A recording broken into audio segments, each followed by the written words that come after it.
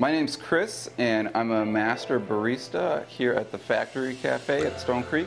That's a, a role that's about, first of all, crafting uh, really good drinks for customers, um, but there's also a like education mentorship component to it where we're doing things like um, teaching coworkers how to uh, dial in espresso on the bar for example or um, we're working on their latte art pours with them the best part about that for me is just forming uh, relationships with uh, customers and coworkers um, through this kind of shared shared love of coffee and um, espresso and good food too.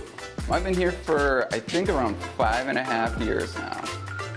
My favorite kinds of coffees are ones with a little bit of complexity.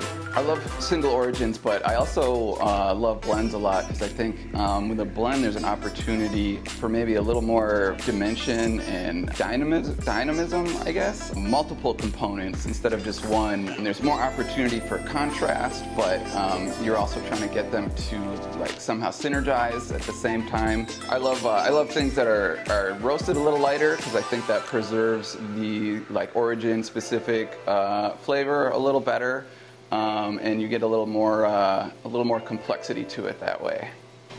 Tell me about Constellation. Oh God. Um, so this is uh, my my brew.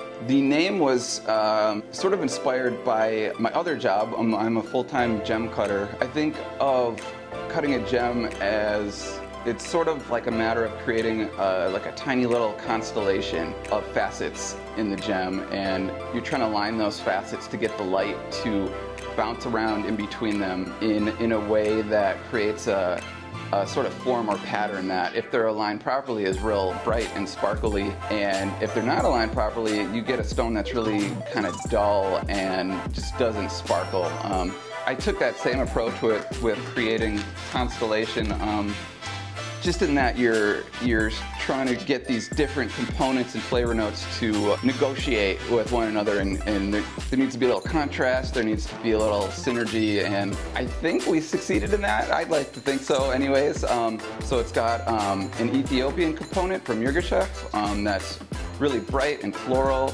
Um, it's got some good sparkling acidity in there pun intended. And there's also a Colombian component that's a little fruitier a little sweeter um, and then we kept the uh, roast level pretty light so you can uh, um, taste all those uh, origin flavors um, coming through. You'll love it or your money back. I will never leave this place. I can't, I can't sit in my closet all day cutting gems 24-7. I need to get out. Um, and I don't know, I think like there's some jobs you do for money, there's some jobs you do for, because it's your passion. I think this is, um, probably a little bit of both, and I just can't, you know, I just can't ever leave a, a job where I get to make and drink great coffee around great people every day.